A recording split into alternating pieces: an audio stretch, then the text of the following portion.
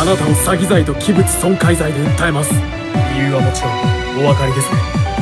あなたがみんなをこんな裏技で騙しセーブデータを破壊したからです。覚悟の準備をしておいてください。近いうちに訴えます。裁判も起こします。裁判所にも問答も用できてもらいます。慰謝料の準備もしておいてください。あなたは犯罪者です。刑務所にぶち込まれる楽しみにしておいてください。いいですね。